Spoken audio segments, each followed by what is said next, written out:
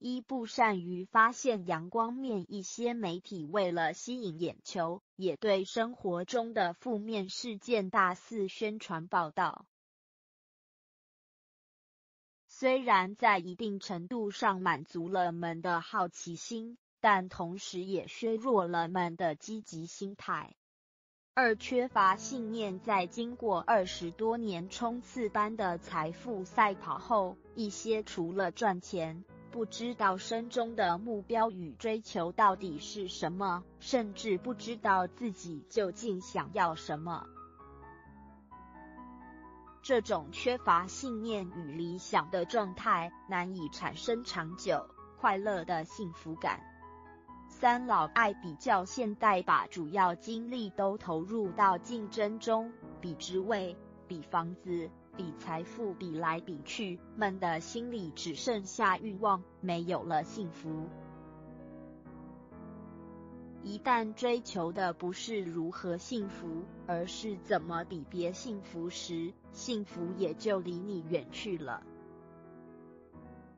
四不知道奉献。美国哈佛大学一项研究曾显示，在生活中多去帮助他，能让自己感到更快乐。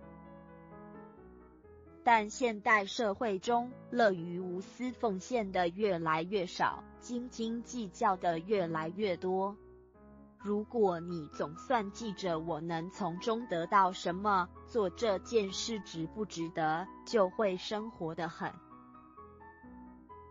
五不知足，俗话说知足者常乐。但能知足的越来越少了。有了房子想换更大的，有了工作想换更好的，有了钱想赚的更多，这些欲望指使着无休止的奔波劳碌，硬撑着去争取登上那辉煌的顶峰。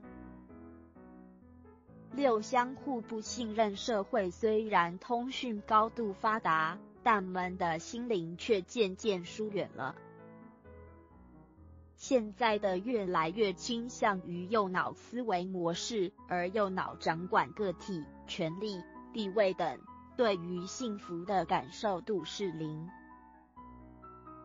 幸福感来自于左脑的感受，很多时候不是生活中的幸福少了，而是们不再掌握感受幸福的能力。七过于焦虑购房。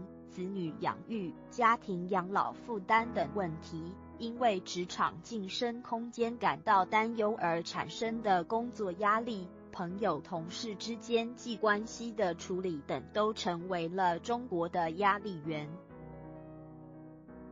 在大城市中，无论老、年轻还是孩子，多处于一种烦躁不安的焦虑状态，这让们无法从心底感受到幸福。